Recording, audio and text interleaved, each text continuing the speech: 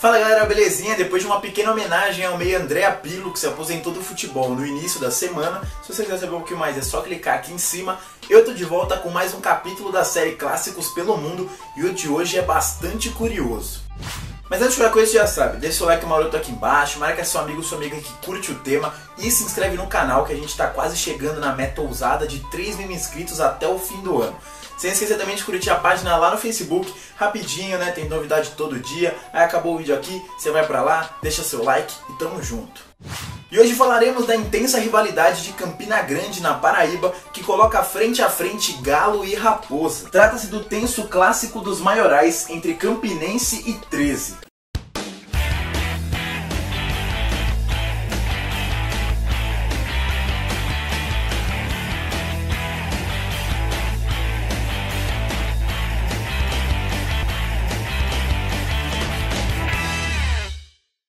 Gente fala né, clássico entre Galo e Raposa, algumas pessoas podem logo pensar em Cruzeiro e Atlético Mineiro. Mas não tem nada a ver não, eu tô falando mesmo sobre o clássico dos maiorais. Que tem de um lado o Campinense Clube, fundado no dia 12 de abril de 1915, e de outro o 13 Futebol Clube, que veio 10 temporadas depois, nascendo no dia 7 de setembro de 1925. E a rivalidade entre dois dos três maiores clubes da Paraíba, já que a gente não pode esquecer do Botafogo, o único da capital, João Pessoa, que há 62 anos movimenta o futebol paraibano, guarda para o torcedor inúmeros fatos curiosos, que vão muito além dos dados estatísticos que confirmam quem venceu, quem fez mais gol, quem tomou mais gol, quem tem mais título. E mesmo com os dois clubes sendo de antes da década de de 30, o primeiro encontro entre eles só foi acontecer no dia 27 de novembro de 1955, num jogo amistoso realizado no Estádio Municipal Plínio Lemos, que terminou com vitória do Galo por 3 a 0. Só que a rivalidade só foi estourar mesmo depois do dia 10 de março de 57, quando o 13 goleou o rival por 4 a 0, ainda pelo campeonato da Liga Campinense de Futebol. Já que a goleada feriu os brios dos diretores do Campinense, que logo iniciaram um processo de profissionalização do clube. Afinal, até aquele momento, o Campinense era apenas um clube amador da cidade. E olha que ele ia permanecer assim se não fosse essa rivalidade que acirrou ainda mais a convivência entre rubro-negros e alvinegros. Só que antes de continuar falando sobre a história deles, eu preciso destacar um fato curioso que aconteceu nessa época. Em mais uma das pitadas de ironia que incrementam os capítulos da centenária história do Campinense, o estádio municipal Plínio Lemos, conhecido popularmente como PL, aparece como a fábrica de um time campeão, palco das principais histórias da Raposa, principalmente nos seus primeiros anos de vida. Só que ele foi curiosamente inaugurado pelo 13, no dia 27 de junho de 55, num amistoso contra o Bahia, enquanto o rubro-negro ainda engatinhava no futebol amador. E a parceria duraria até 99, quando o clube de repente decidiu devolver o estádio para a prefeitura, numa decisão bastante controversa e até hoje muito polêmica. Mas essa é uma história para mais para frente.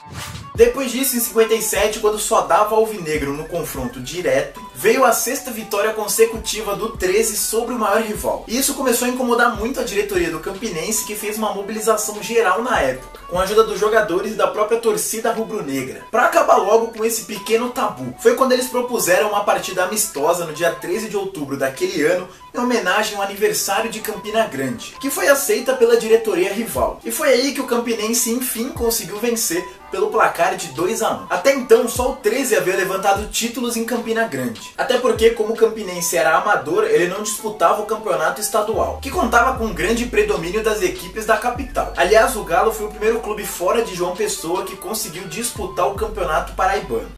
Foi quando veio a década de 60 e com ela a inscrição do Campinense no principal torneio da Paraíba. E olha que a Raposa chegou chegando, afinal foram seis títulos consecutivos entre os anos de 1960 e 1965. E é até por isso que a equipe tem seis estrelas no seu escudo oficial, sendo que quatro delas foram em cima do 13 que deu o troco em 1966, batendo justamente o Campinense na decisão. Sendo que esse título alvinegro foi conquistado de forma invicta, e é por isso que ele está sendo representado no escudo oficial do time. Na sequência veio mais um tetra do rubro-negro e outra conquista isolada do 13 agora em 75. E alheio a esses fatos, várias sátiras foram surgindo ao longo dos anos, que gradualmente foram consolidando a rivalidade entre as torcidas dos dois clubes. Porém, em 77 teve início a mais marcante entre elas. Depois de uma série de seis vitórias consecutivas do Campinense sobre o 13, a torcida organizada da Raposa decidiu criar uma missa de sétimo dia caso a sétima vitória viesse sobre o maior rival. Só que a brincadeira perturbou tanto os jogadores e a torcida do 13 que ela jamais foi esquecida. E mesmo com o Campinense não conseguindo a tal sétima vitória seguida sobre o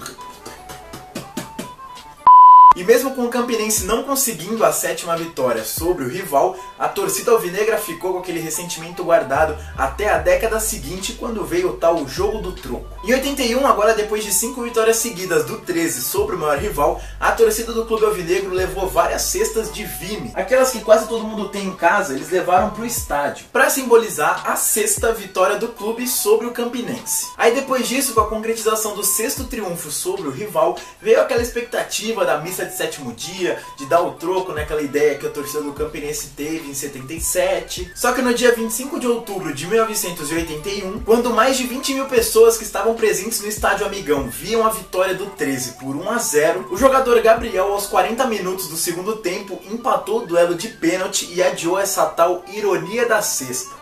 Depois disso, o 13 conquistou um tri-estadual consecutivo e em 89 levantou seu quarto título na década, o último antes de encarar um longo jejum. Do 13! Enquanto isso, o Campinense parecia viver uma crise sem fim. Afinal, desde o título de 80 foram quatro vices, sendo três para o maior rival e um para o Botafogo, e nenhuma campanha para se orgulhar. Até que veio a temporada de 91, quando o clube colocou fim nessa sequência. Aí, dois aninhos depois, veio mais uma taça, no quadrangular decisivo, com mais uma vitória expressiva sobre o maior rival, agora por 3 a 1 Beleza, realmente, vai pra galera, festa rubro-negra no amigão, garotinho Valério.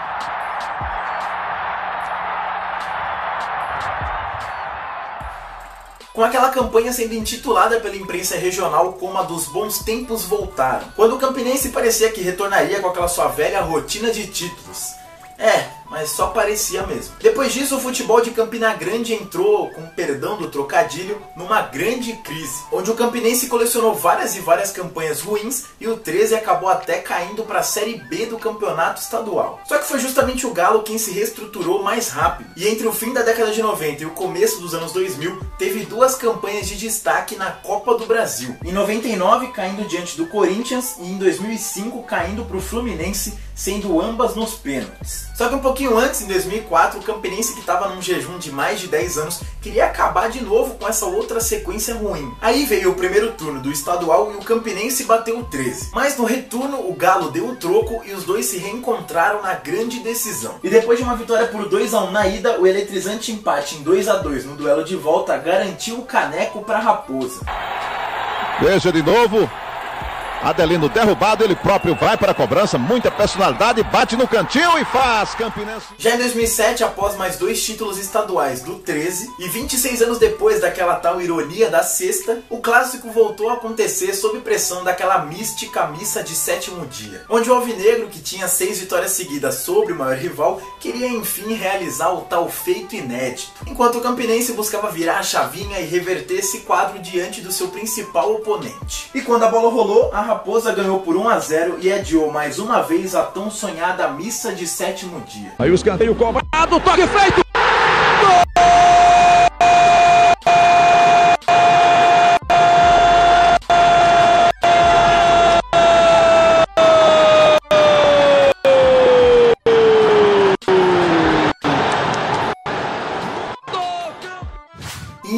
Vários altos e baixos das equipes, né, com títulos e rebaixamentos, recentemente o clássico ficou marcado por encontros em fases decisivas do estadual. Ainda em 2007, o 13 conseguiu se recuperar e eliminou o rival na semifinal do primeiro turno, empatando o duelo de ida em 1 a 1 e vencendo a volta por 2 a 1.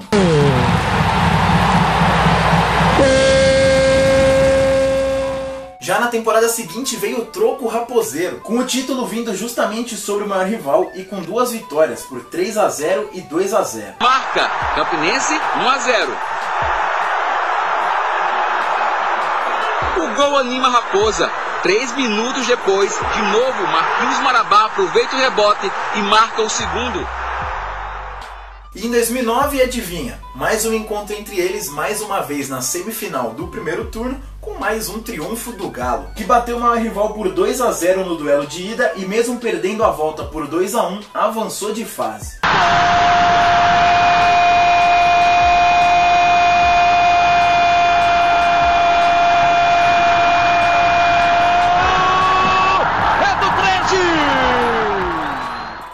Teve uma pequena pausa nesses confrontos decisivos que voltou com tudo em 2013. Primeiro com vitória do 13 na semifinal estadual, vencendo o rival por 1 a 0 e avançando a decisão.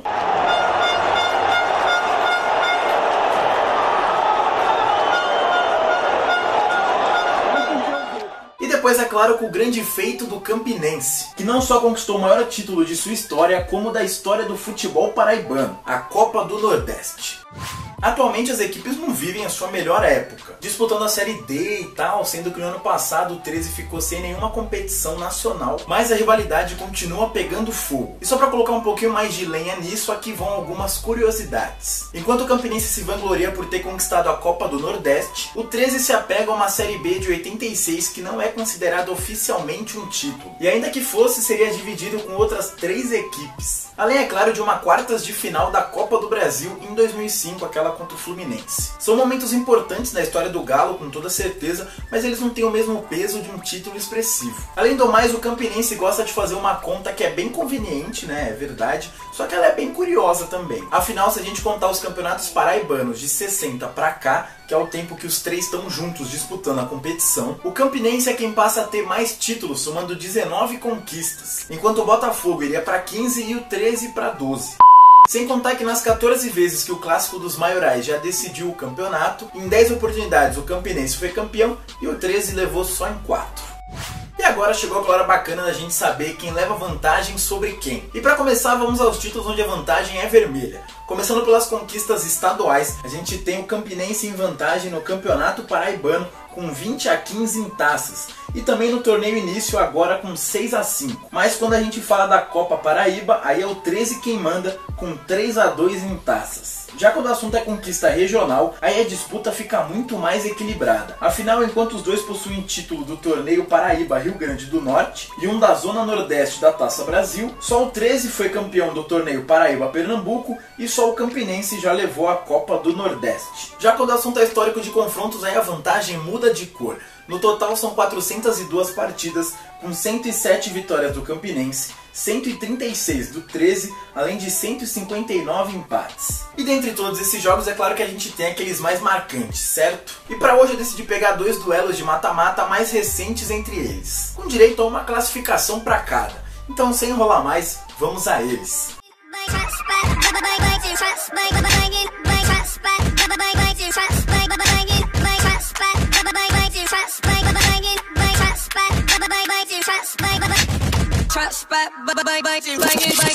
Jump.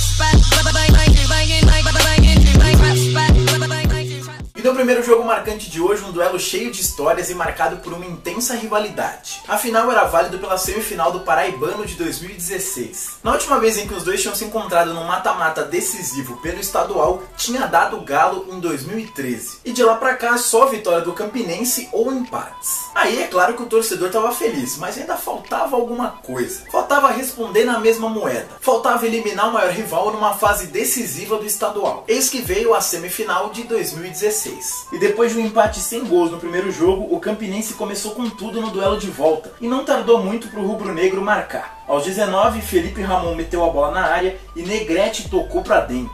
Felipe Ramon, pode até mandar direto, vem cruzamento na área. Gol!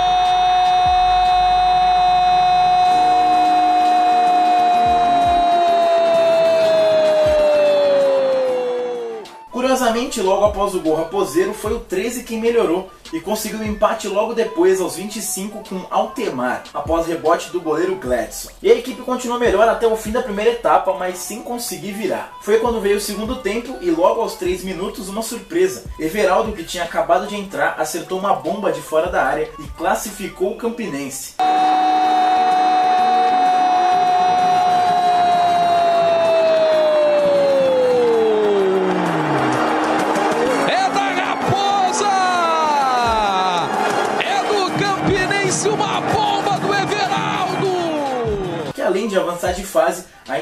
13 ficar sem vaga na Série D da temporada. O tabu sobre o maior rival já durava 4 anos e o de título 6. Até que veio a temporada de 2017 com um clássico dos maiorais sensacional na semifinal do Paraibano. Por ter feito melhor campanha, o Campinense jogava por dois resultados iguais para chegar a mais uma decisão e tentar faturar o tri consecutivo. Mas o 13 contava com a volta de Marcelinho Paraíba e com a vontade da torcida de encerrar aquele tabu. E o Galo entrou com raiva, mordido e doido para pôr fim a esse incômodo jejum. E foram precisos apenas 13 minutos Afinal, aos 6, Dico invadiu a área e acabou derrubado por Joécio. Na cobrança da penalidade, Marcelinho Paraíba bateu forte e abriu o placar.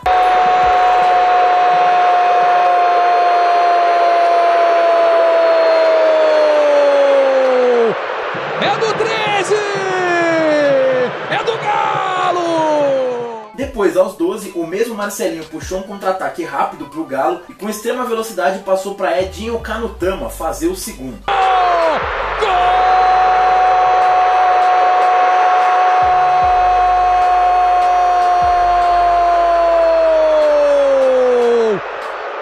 É do 13! É do Galo! Jogo decidido? Que nada. Depois disso, a Raposa foi melhorando e aos 34, o Reinaldo Alagoano deixou Salvio pronto para diminuir. E a pressão continuou forte, mas sem sucesso. Depois, com um empate sem gols na volta, o 13 estava na final. Bom galera, por hoje é isso, espero que vocês tenham gostado. E como é de praxe aqui no final, eu deixo as playlists do canal. Lembrando que amanhã tem uma novidade, vai ter vídeo novo. Ainda não vou falar o horário aqui e tal, né? Porque eu ainda não sei que horário que eu vou postar. Mas vai ter vídeo novo toda segunda-feira, vocês não podem perder. Acompanha no Facebook, vocês estão lá vendo e tal. E se inscreve no canal.